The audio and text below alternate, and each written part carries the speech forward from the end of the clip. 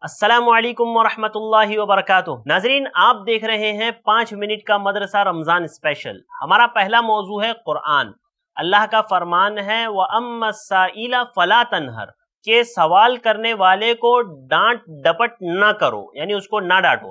ناظرین، اس کی مفسرین نے دو تفسیریں کی ہیں۔ سب سے پہلے تو یہ کہ اگر کوئی مسکین، کوئی غریب آپ کے پاس کوئی چیز مانگنے آتا ہے تو آپ اس کو غرور تکبر میں آ کر کے سختی سے نہ بھگاؤ، تلخ لہجہ اس کے ساتھ استعمال نہ کرو، بلکہ اس کو پیار محبت سے سمجھاؤ۔ اگر آپ دینا چاہتے ہو تو آپ اسے دے دو۔ اسے عطا کر دو۔ اگر نہیں دینا چاہتے تو اسے ڈانٹ ڈپٹ کے جھڑک کر کے مت بھگاؤ، بلکہ اسے پیار محبت سے بول دو آگے بڑھنے کے لیے یا آگے چلے جانے کے لیے۔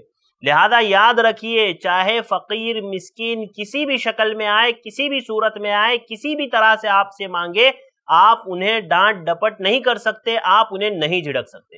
دوسری تفسیر اس کی یہ کی ہے کہ اگر کوئی آپ کے پاس سوال پوچھنے والا، سائل سائل جو ہے، اگر وہ سوال پوچھنے والا ہو اور اگر آپ کے پاس آ کر کے کوئی سوال پوچھتا ہے، اگر آپ کو پتا ہے تو آپ اس کو بتاؤ، اس کو جواب دو اور اگر نہیں پتا ہے تو آپ اس کو پیار و محبت سے ٹال دو۔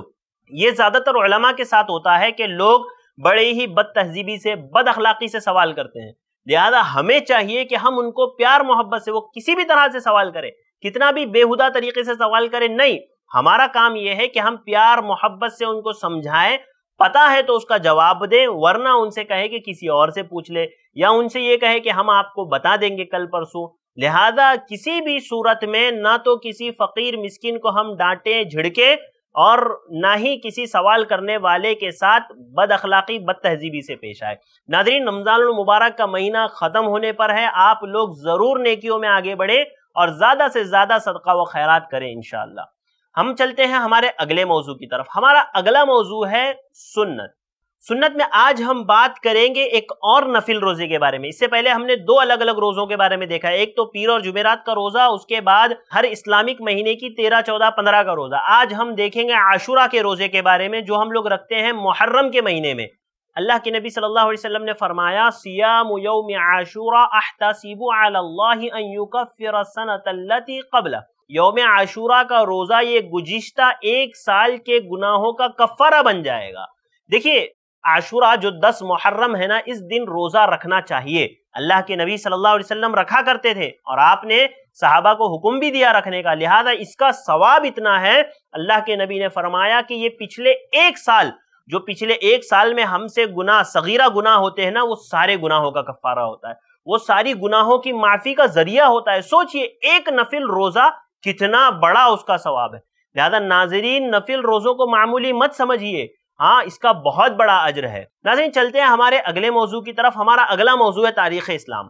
تاریخ اسلام میں آج ہم دیکھیں گے کہ یہ جو عاشورہ کا روزہ ہے، دس محرم کا، یہ ہم کیوں رکھتے ہیں؟ حدیث سنیے، حضرت عبداللہ ابن عباس رضی اللہ تعالی عنہما بیان فرماتے ہیں کہ نبی کریم صلی اللہ علیہ وسلم مدینہ منورہ تشریف لائے اور یہودیوں کو دیکھا کہ وہ عاشورہ کا روزہ رکھتے تھے۔ تو آپ صلی اللہ علیہ وسلم نے فرمایا کہ یہ روزہ کیوں رکھتے ہو؟ تو انہوں نے جواب دیا، یہ اس لیے ہم اس خوشی میں رکھتے ہیں کہ حضرت موسیٰ علیہ السلام کو اور ان کی قوم کو یعنی بنی اسرائیل کو اللہ تعالیٰ نے فرعون اور ان کی قوم سے نجات دی تھی۔ تو ہم روزہ رکھتے ہیں۔ تو اللہ کے نبی صلی اللہ علیہ وسلم نے فرمایا، میں موسیٰ کے ساتھ تم سے زیادہ تعلق رکھتا ہوں، لہذا میں بھی اس کا روزہ رکھوں گا۔ آپ نے روزہ رکھا اور صحابہ اکرام کو رکھنے کا حکم دیا۔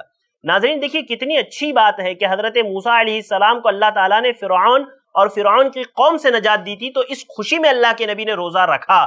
لہذا ہمیں بھی چاہیے کہ ہم روزہ رکھیں تاکہ اللہ کے نبی صلی اللہ علیہ وسلم نے جو اجر اس کا بتایا ہے، ایک سال کے گناہوں کا کفارہ ہے، پچھلے ایک سال کے صغیرہ گناہوں کا کفارہ ہے تاکہ ہم بھی اس میں شامل ہو سکے یاد رکھیے، یہ صغیرہ گناہ ہے اس لیے کہ کبیرہ گناہوں کے لیے توبہ شرط ہے۔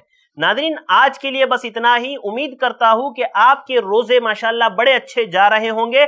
جن لوگوں نے روزے نہیں رکھے ہیں، وہ رکھیں، مکمل روزے کریں۔ ناظرین، آج کے لیے بس اتنا ہی۔ مجھے دیجیے اجازت، انشاءاللہ کل ہماری ملاقات ہوگی۔ کچھ اور موضوعات پر ہم بات کریں گے۔ اللہ سے دعا ہے کہ اللہ تعالی ہمارے رمضان المبارک کے روزوں کو قبول کرے آمین۔ السلام علیکم ورحمۃ اللہ وبرکاتہ۔